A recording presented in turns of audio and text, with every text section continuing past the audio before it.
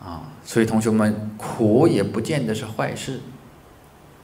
啊，知道苦，我们要知道怎么样出苦，我们要有方法出苦，要有最容易的方法出苦，啊，最安全的方法出苦，啊，最平等的方法出苦，啊，就是阿弥陀佛这个法门。啊，诸位同学，我们大家在这个地方一起学习，一定得阿弥陀佛的加持。啊我们学的是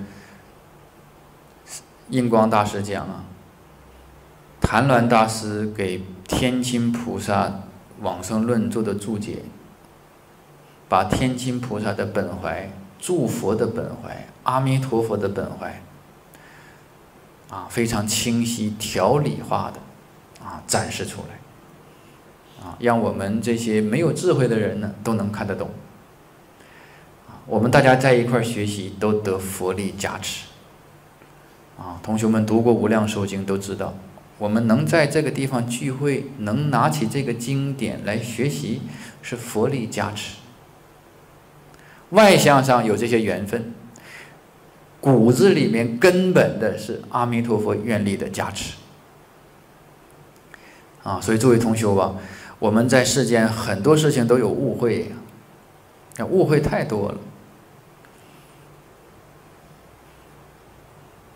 啊你比如说，我刚出家的时候，啊，我那个时候二十岁出头，啊，一看还是个非常年轻的小伙子。我在中国上了一个大巴车，那我是身强力壮的小伙子。上大巴车之后呢，一个老人家站起来给我让座。啊！我当时就跟我旁边的师兄弟讲：“别误会啊，别以为自己很有修行啊。你不信，你留个分头上来，你看有人给你让座吗？那我们这哎剃了光头出家这个形象，一个老人家老菩萨学佛的，他一看，哎呀，出家法师，看你是三宝的形象，所以才站起来给你让座。那我能坐吗？”啊我们要是错认为，哎呦，你看我都有修行啊，我一上来就有人给我让座，那那是佛力呀，不是你自己，啊，你换身衣服上去就没人理你了，年轻小伙子站着吧。我们在世间很多事情啊，我们要首先要承认自己是罪障生死凡夫，啊，我们得到一点福分呢，佛力加持，三宝加持。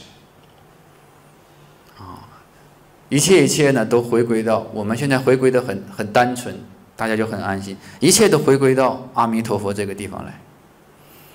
印光大师讲，一切法从这句名号流出，最后又回归到净土法门。